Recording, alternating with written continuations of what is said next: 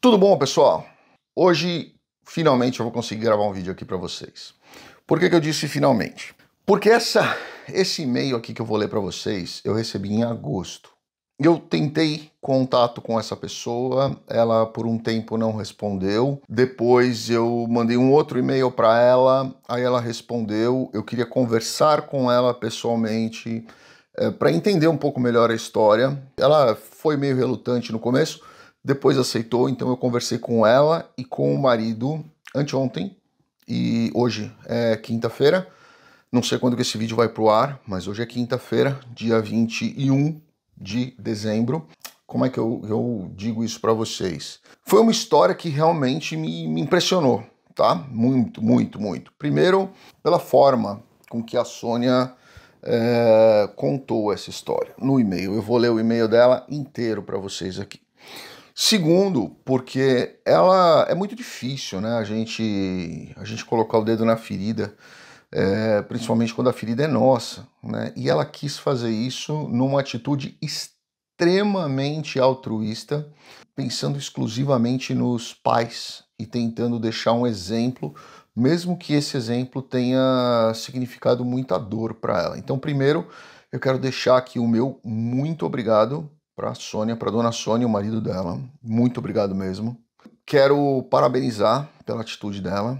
Quero agradecer demais por ela ter escolhido a mim para trazer essa, essa informação. Segundo ela, ela não falou com mais absolutamente ninguém. Ela queria que eu lesse, ela pede que eu lesse esse e-mail no canal. Por isso que eu especificamente quis conversar com ela antes. Especificamente não. Por isso, justamente, eu quis conversar com ela antes Primeiro, para entender a história, conhecer a história, ver a veracidade do que ela estava contando, é, pegar alguns outros detalhes que eu vou trazer aqui para vocês, tá bom? Então, primeira coisa que eu peço a vocês aqui é que, obviamente, antes de comentar qualquer coisa, lembrem que a dona Sônia ela, ela, ela abriu o coração dela para contar a história, que pode ser alerta para muitos pais. Os julgamentos que ela achou que que fossem pertinentes, ela mesma colocou aqui. E eu acho que isso já demonstra bastante coisa, então eu gostaria da gratidão de vocês para a dona Sônia, principalmente por ela ter colocado o dedo na ferida para expor e trazer esse tipo de situação que é muito importante para os pais, principalmente, que têm filhos que vêm fazer intercâmbio nos Estados Unidos ou em qualquer outro lugar. Dona Sônia mandou em agosto esse aqui para mim. Vamos lá. Doutor Daniel, meu nome é Sônia. Ela fala o sobrenome, eu não vou falar o sobrenome dela. Meu nome é Sônia X. Moro em Vitória, Espírito Santo, e gostaria que você contasse esta história no seu canal, para que muitas pessoas ficassem alertas e compartilhassem o máximo possível este seu vídeo para evitar que outras famílias sejam destroçadas como a minha foi. Em casa, somos meu marido, minha filha Juliana, meu filho, ela falou o nome, eu não vou falar o nome do menino, não tem nada a ver. É, a mais nova, que ela falou também o nome, eu não vou falar também, e eu. Então vamos lá, são cinco pessoas, o casal, três filhos. A Juliana específica, que é essa história sobre a Juliana, é, ela é a mais velha de todas, tá? Posso dizer que somos uma família de classe média baixa. Trabalhamos muito, mas o que ganhamos podemos apenas viver dignamente, sem muitos luxos, sem muitas diversões e sem dívidas, o que é mais importante para nós.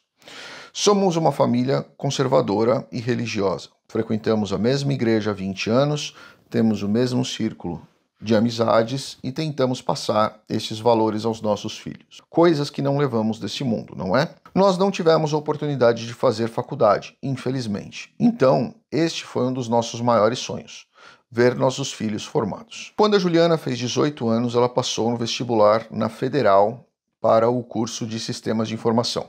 Ou seja, uma família normal, classe média, mais para baixo, como ela mesma disse, juntou economia e tudo mais, e obviamente para a filha ter passado na federal, é, com certeza absoluta, ela teve um, um, um, estudo bom, um ensino bom, uma qualidade boa, é uma menina dedicada, uma menina estudiosa, porque não adianta você colocar o seu filho para fazer o melhor escola, o melhor cursinho, se ele não estiver interessado em nada, né? Ou seja, a menina sempre esteve focada nos estudos, por isso que passou na federal, com 18 anos. Imagino que seja Federal do Espírito Santo. Ela estudou muito e se graduou com notas excelentes. Como não gastamos tanto dinheiro com a sua formatura e que sempre guardamos esse dinheiro para a, para a faculdade dela, ela escolheu fazer uma pós na UCF, ela escreveu UCF, mas ela escreveu UCF, UCF da Flórida, então deve ser a Universidade da Central Florida, né? Imagino que seja o UCF da Flórida. Fez o processo seletivo e foi para lá estudar inglês por seis meses, já com a expectativa de fazer a faculdade logo após o curso do seu inglês terminar. E ela já foi com o visto F estampado, aprovado no consulado americano do Brasil. Ela chegou lá em janeiro de 2014. Na época, ela tinha 22 para 23 anos. Meu coração parecia que ia sair pela boca, porque de um lado eu estava muito orgulhosa e de outro eu estava apavorada com a distância da minha filha. No começo, ela teve muita dificuldade para se adaptar. Mas a partir do terceiro mês, ela já passava a se mostrar muito mais tranquila e gostando do intercâmbio. Falávamos todos os dias. Ela contava detalhes que nem eu e nem meu marido nunca sequer sonhamos em viver. Para todos nós, era a realização de um grande sonho, ver nossa filha em outro país tendo oportunidade que não tivemos. Era difícil mantê-la nos Estados Unidos, mas apertávamos o orçamento, meu marido trabalhava em dois turnos e íamos tocando a vida conforme conseguíamos, pagando as contas e tentando economizar. Em junho de 2014, ela teria direito a férias e queríamos muito passar esse tempo com ela. Dia 6 de junho, ela chegou no aeroporto de São Paulo. E lá estávamos nós esperando por ela para fazer uma surpresa. Acho que eu nunca chorei e a apertei tanto na minha vida. Ela nos apresentou Cíntia, gravem esses nomes. Ela nos apresentou Cíntia, que fez intercâmbio junto com ela, Roberto, que era namorado da Cíntia e tinha ido para encontrá-la nos Estados Unidos, e Paloma, uma carioca que fazia uh, administração de empresas na faculdade dos Estados Unidos. Pegamos um voo e imediatamente voltamos para nossa casinha em Vitória, onde curtimos nossa filha junto com seus irmãos. E ficamos ali pelos próximos 30 dias.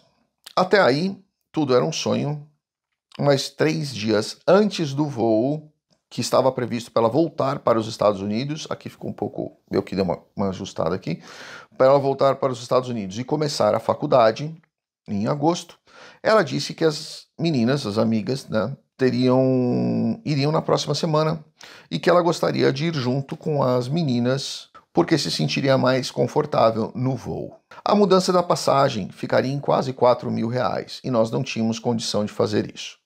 Eram 4 mil reais a mais porque estava muito em cima da hora. E imediatamente a Juliana disse que uma parente da Paloma era aeromoça naquela companhia e que ela faria a mudança sem nenhum custo. Então, não enxergamos nenhum problema em ela ir uma semana depois, até porque poderíamos ficar mais tempo com a nossa filha. No dia 17 de julho, fomos levá-la ao aeroporto em São Paulo. Lá estava Paloma e Cíntia. Tudo tranquilo, nós nos, nos despedimos, muitas lágrimas, muita saudade, e voltamos para Vitória, enquanto as meninas seguiam para para o voo para os Estados Unidos. O voo, está, o voo delas estava previsto para chegar em Orlando às 8 da manhã do dia seguinte. Claro que eu já estava do lado do telefone. Às 7, às 8, às 9, às 10 e nada. Nenhuma mensagem e nenhum telefonema dela. Eu ligava e caía na caixa postal. Todos já estávamos desesperados. Mas tínhamos confirmado que o voo tinha pousado em segurança, então achávamos que poderia ser um problema no telefone. Meio-dia e 15 toca o meu telefone, um número que eu nunca tinha visto. Me lembro que ao ouvir a voz da Ju, eu me senti eu senti uma imensa alegria e alívio, que duraram apenas 15 segundos, até ela me dizer: Mãe, estamos presas no aeroporto por tráfico internacional de drogas. Acharam umas coisas na minha mala. Depois eu te falo mais. Eles disseram para você achar um bom advogado, por favor. E aí ela desligou. Meu mundo desabou ali. Lembro de cada palavra. Eu chorava, eu gritava, eu não sabia se era de dor, se era de desespero. Eu queria ir para lá, mas nem visto eu tinha, porque não tínhamos dinheiro para fazer de todos. Liguei para o consulado do Brasil em Miami aos prantos. Liguei para embaixadas, liguei para todo mundo. Não dá para descrever o que nós sentimos. Para não alongar mais a história, a Juliana foi presa porque, ela, porque acharam um quilo aproximadamente, ela colocou entre parênteses, aproximadamente, de cocaína na, ba na bagagem dela. Eu sinto vergonha e dor por contar isto, mas não quero que ninguém passe por isso jamais. Gastamos 35 mil dólares em um ano com advogados criminalistas. E ela acabou cumprindo quatro anos e três meses de pena nos Estados Unidos.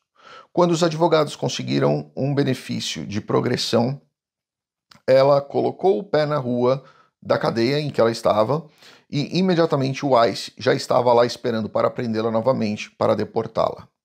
Sim, ela chegou aqui em 22 de março de 2020. Há três anos ela faz terapia, não sai de casa por nada, tem síndrome do pânico e muitas outras consequências que ficaram na cabeça dela. Você deve estar se perguntando se ela era culpada. Sim, na minha opinião, sim. Paloma distribuiu um quilo de droga para cada uma das meninas e iria pagar 3 mil dólares para cada uma nos Estados Unidos assim que entrasse. Para Juliana, isso era uma fortuna. Nós não mandávamos muito dinheiro para ela.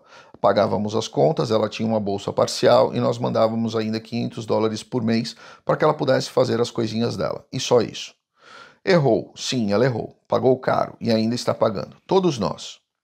Espero que essa história sirva de exemplo para pais e filhos que moram fora e que são alvos de pessoas que não têm absolutamente nada a perder e levam os outros para o mesmo buraco. Obrigada, peço que por favor leia esta minha carta e compartilhe com todos os demais. Dá até um nó na garganta aqui, né? Porque é difícil, né? A gente que é pai, que a gente que é mãe, que a gente a gente faz absolutamente tudo para tentar criar oportunidades né, para os nossos filhos e às vezes às vezes chega esse, essas essas amigas, esses amigos externos aí e, e a gente nem percebe, né? Mas isso acontece em todos os lugares, né? Em todos os lugares. Às vezes a menina se iludiu aí com 3 mil dólares, que talvez fosse um dinheiro que ela nem imaginava, ainda mais novinha aí, 23, 24 anos aí, é, naquela, naquela fase de, de querer se autoafirmar, de querer é, comprar uma coisa que às vezes não consegue financeiramente, acaba se iludindo, achando que é muito fácil. Ah, põe aí um pacotinho aqui, ó, ninguém vai nem ver esse negócio aqui. É onde acaba tendo um grande problema né? É onde acaba tendo. Teve aquela, aquela mulher que era recentemente aí, que foi, foi presa aí, a tal da. Esqueci o nome dela, aquela que se dizia bruxa, coach e não sei o que lá, aquela loirinha. Esqueci o nome dela. Mas enfim, a gente começa a perceber que às vezes esses angariadores, eles estão em todo lugar. Nas escolas, nas faculdades, nos aeroportos, nos. Enfim, e Jovem é, infelizmente, é esse tipo de coisa que a gente tem que estar tá atento, olhando e vendo o que está acontecendo. Tá? Então, se você é pai, mãe, fique de olho nisso, principalmente no, nas companhias, né? Isso é muito importante. Quem está acompanhando o seu filho? Quem está do lado dele? Quem é o amigo ou a amiga que está tá, tá ali do lado dele, é, falando na orelha dele? Né? Vai dar boa informação, vai dar informação ruim, vai, vai é, é alguém deslumbrado? Como é que é a família dessas pessoas, né? Isso é uma coisa que eu deixo essa dica para vocês. Já falei em outros vídeos aqui o quanto isso me preocupa, em qualquer lugar do mundo, não é só nos Estados Unidos, não. É Brasil, nós temos um monte de gente aí que eu vejo um monte de amigo meu com filhos adolescentes falando, putz, eu não, eu não sei mais o que fazer com essa molecada, com esses vape de, de maconha na mão e com droga na rua e os amigos fazendo idiotice. Se a gente não, não voltar aos valores e não tiver esses valores na educação das crianças, nós vamos ter uns 10 anos aí para frente bem complicados tá?